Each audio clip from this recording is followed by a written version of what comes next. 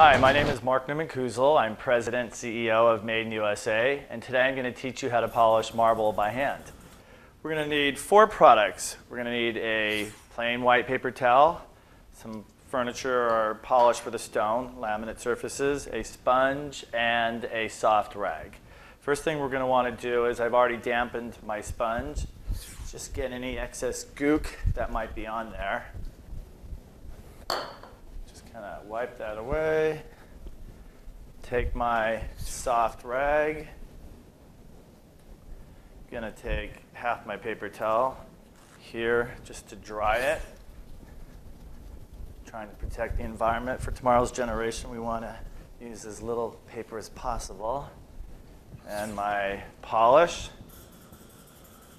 Counter Magic, it's definitely one of my favorite products I always clean with. Go here. And that's how you polish marble by hand. I'm Mark Newman Kuzel with Maid in USA.